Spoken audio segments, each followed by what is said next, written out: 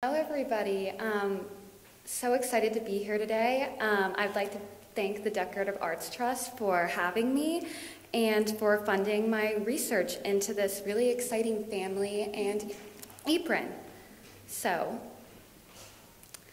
three generations of women in succession, all carrying maiden names and married names of the most prestigious families in the Connecticut colony, come together within the story of this apron from the 1730s you see here.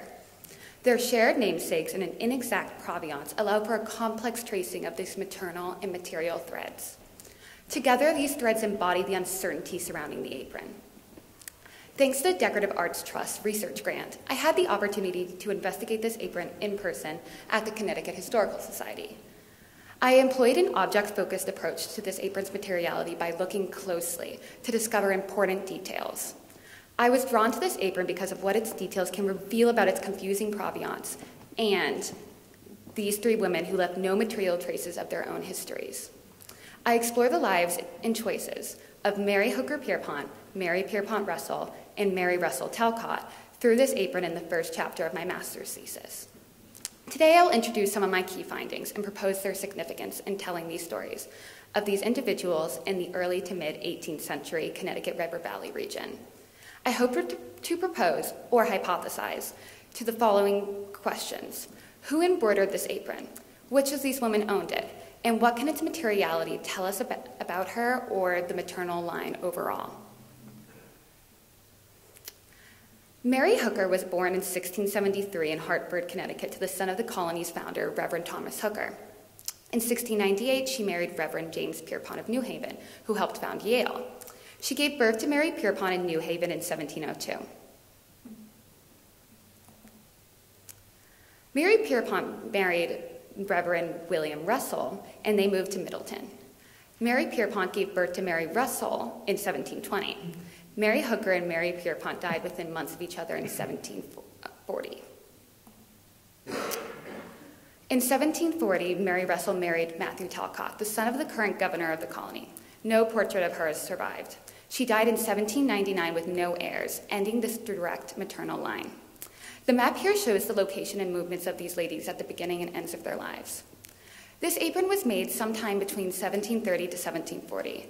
It would have been tied around the waist and fallen around the knee region. A lady would have worn it to a formal event or for a special occasion, like at her wedding. She would have owned other cheaper and more practical aprons for day to day life, especially since this apron was expensive and exceptionally hard to clean. An apron like this could have been made by an elite woman herself or purchased ready made from England. Going forward, I refer to this apron as, Mary's, as the Mary apron for the sake of simplicity. Even the basic details about this apron reveal exciting discoveries about its origins. My research has found striking evidence that this apron was made of Chinese silk rather than English silk. The ground of this apron measures 20 and a half inches to 34 inches, which would have not been exceptionally different from other short aprons during the period. It also has an exposed selvage that you can see here. The size of the English loom restricted silk widths in the first half of the century.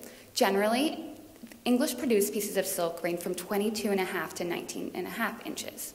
The Chinese created their silk on longer looms of 28 inches or more throughout the 18th century. Researcher Leanna Lee Whitman's study of the East India Company's records of Chinese silk and surviving extant garments finds that Chinese silk measured 28 to 31 inches, but could be up to around 34 inches. Based on these different sets of measurements, the, length of the, the, length of the Mary apron most closely, closely aligns with that of the Chinese loom.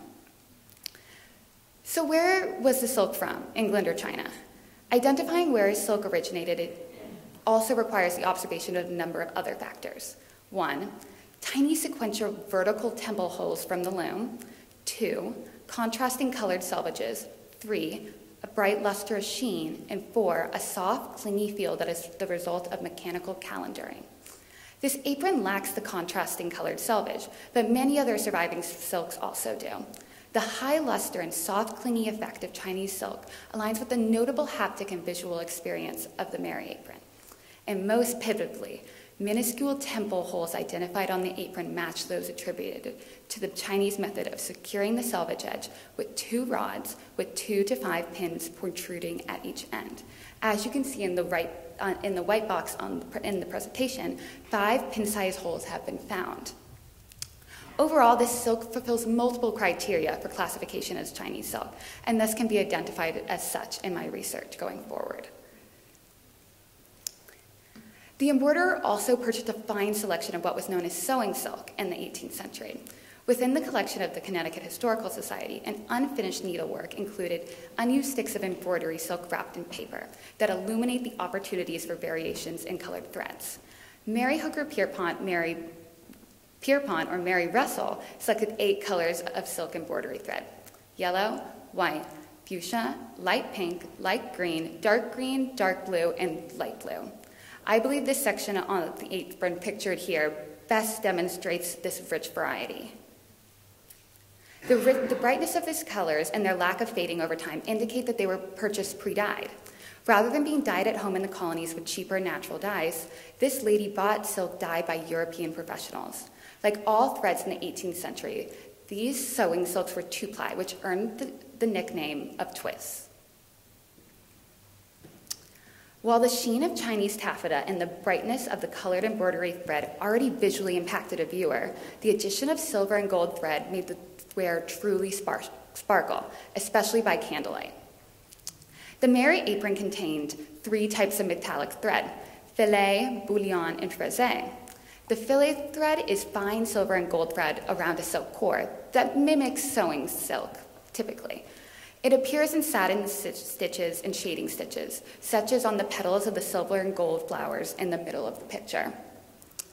Bullion looked more like a metallic thread or coil, more in a tube-like shape. It can be found in the core and on the tips of the gold, the silver and gold flowers in the middle picture. It can also be seen on the petals of the tulip on the, on the left and the edges of the pink flowers on the right. So right along there and then right on the other part in between. The frise looks the most wire-like of all these metallic materials with its square edge. It can be seen on the right in the thin vines, the gold leaf, and the bow. All three of these metallic threads were likely imported from France. Notably, researchers at the Connecticut Historical Society proposed that this apron was not embroidered by any of these women, but instead by an English professional. They claimed, quote, executing satin stitches with metallic thread on such delicate silk fabric was a particularly exacting task associated with professional work, end quote. And therefore, they think that one of the Marys bought this apron rather than made it. Yet other surviving aprons and newspaper advertisements expel this notion and provide evidence that metallic embroidery was a skill taught to young colonial ladies. Along with gold and silver thread being advertised for purchase in the colonies since 1712, advertisements for finishing schools explicitly promoting that they taught embroidery in gold and silver proliferated in the 1750s. Further, numerous surviving garments from the period that have unambiguous New England provenances demonstrate similarly complex embroidery with metallic thread. The work of these ladies, and who, who were from similar backgrounds as the three Marys, shows the variety of stitches and types of metallic thread used. Through the creation of this apron, Mary Hooker, Mary Pierpont, or Mary Russell entwined themselves in the materials and practices of expanding British imperialism. Following the passage of the Calico Act in 1700 and 1721, the British Parliament restricted English access to foreign textiles. However, they continued to be sourced to the American colonies. Before this, chintzes populated the homes of the English and elite colonists by the end of the 17th century, century firmly establishing themselves in their decorative lexicon. In particular, wall hangings and bed covers, called palampores, dominated. These designs were hybrid creations of motifs from the East and the West. They depicted motifs that derived from Persian and Indian art, as well as early 17th century English embroidery. The most popular was a tree of life motif seen here. One of these examples was produced in India for import into America or England, while the other, on the left, is an early English embroidery copying this kind of textiles designs. Evolving from hybrid semi-fictionalized tree of life motifs, English and American embroidery adopted this colorful exoticism. They utilized the florided climbing vines of these imported textiles and the motifs they popularized. This motif was styled after the tree of, life, this apron was styled after the tree of life, along with a mixing of other characteristics that made it uniquely uh, English influenced and regionally specific. Some flora and fauna can be identified on the apron while others cannot. A few of these botanicals were also fantasy creations. Wheat, thistles, tulips, and carnations can be identified with certainty, all of which would have been familiar to the English and the colonists. They would have associated them as domestic rather than foreign. For example, this carnation appeared in English gardens and the increasingly popular naturalist books. As you can see here, these two illustrations take similar forms in both of these renderings. The acanthus leaf also appears on the Mary apron and touches on another essential aesthetic movement of the long 18th century, neoclassicalism. This leaf featured in architecture and furniture throughout the century and proliferated in the minds of embroiderers. Indian designers also adopted the acanthus leaf into their arrangements, like in this smaller image on the right. This Indian palampore additionally showcases a vase with flowers growing out of it, which one of these ladies also incorporated into the center of her apron.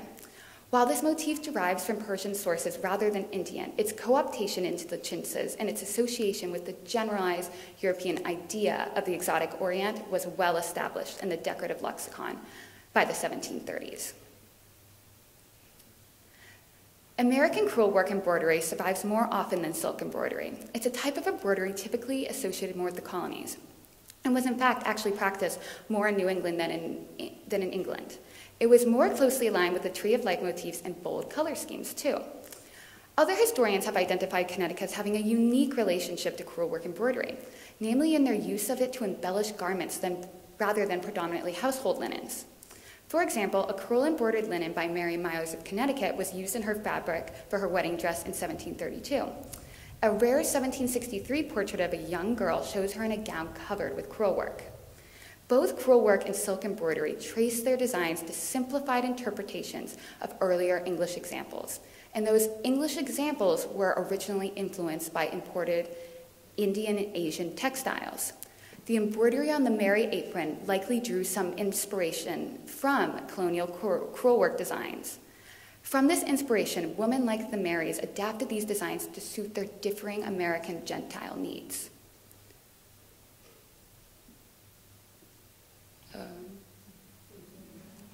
There goes. Um, during the 1730s and the 1740s, Americans favored an apron design with a dominant border and a sprinkling of free floating motifs within an expansive white space. The New England colonists favored more lively designs and had less regard for heightened naturalism when compared with English embroidery. This can be felt within the decorations of this apron. Further, embroiderers in New England were known to employ a greater variety of stitches. This apron crater used sad stitches, long and short stitches, couching stitches, oriental stitches, and, and French knots.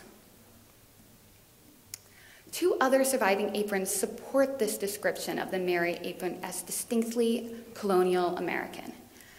Ruth Elliott's apron demonstrates similarities to the Mary apron, as well as a remarkable similarity to the baptismal apron created by Mary Woodbury at finishing school. However, Ruth's apron seems to be an earlier production and most likely was fashioned by another female in her family. I believe her mother, Elizabeth Marshall Elliott of Boston, may have been the actual embroiderer, especially because she would have attended finishing school around a similar time as Mary Woodbury.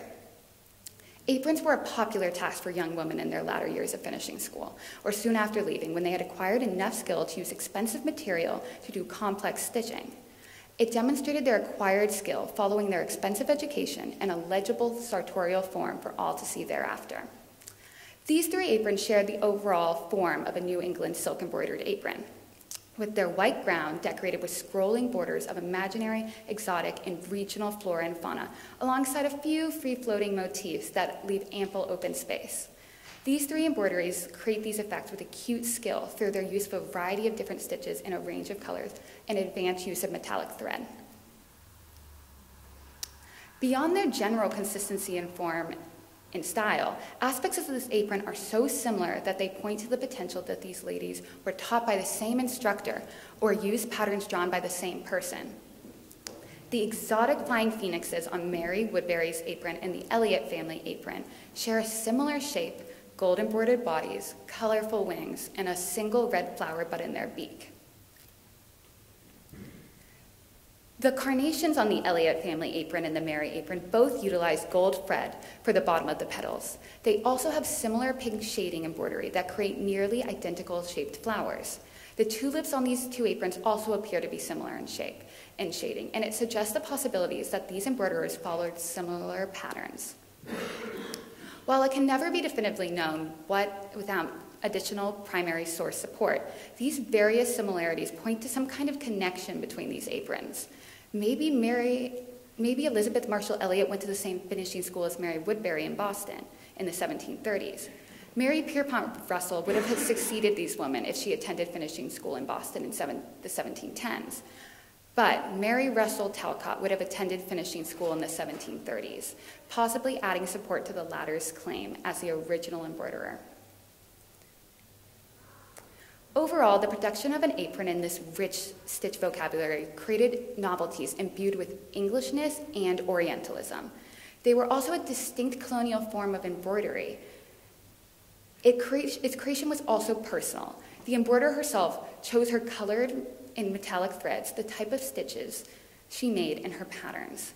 These choices demonstrate her agency despite this amalgamation of influences. The, no, the motifs and variety of stitches also tell us something about the Mary who embroidered the surface. The creation of such an ornate garment depended entirely upon the, the amount of leisure that allowed for such indulgence. No woman except for the elite had time to spare, rendering more and more stitches upon a decorative garment, nor did they likely even learn all the techniques that gentle ladies were educated in during their youth. This apron was an object of leisure in of itself. It contributed towards the performance of an elite, leisured lifestyle that, even after completion, continued to testify to the wearer's skill and gentility. So, where does all this evidence leave us? We have discovered that this apron was made of mainly foreign materials Chinese silk taffeta, imported sewing silk, um, dyed and spun in Europe, and French metallic threads. The motifs on the apron were drawn from English and Orientalist inspired sources like poplars, that were adapted to regional preferences to produce something distinctly from New England. The number of different stitches used and the quality of these stitches further supports its Americanness, but also testifies to the social standing of this maternal lineage. We, these three portraits of these amazing women have survived, but except for the one of Mary Russell Talcott. And we are not sure if one did survive or didn't survive or if it just never existed. The lineage was made up of women who received the finest of education and had the leisure time to produce sumptuous and practical garments to wear at formal events. While I don't have enough time today to get into where and when an apron like this would have been worn, my research and the mere survival of this garment demonstrate that they were cherished items beyond their monetary value. For future generations saw the investment put into these types of garments, but also the semiotic potential of them to materialize their ancestry and their inheritance of a claim to gentility. While the evidence outlined here today points to Mary Hooker not being the creator of this apron, her esteemed family background and advantageous marriage enabled the future production of this apron, indirectly, but maybe in a more direct way than we will ever know. Mary Pierpont Russell or her daughter, Mary Russell Talcott, are the more likely contenders. Regardless of the creator's exact identity remaining unknown, this apron and its unraveling story reveal fascinating insights into the sartorial landscape of consumption in the colonies and the minds of these elite Puritan ladies. I hope I was able to untangle some of these threads for you today. Thank you so much for your time and attention.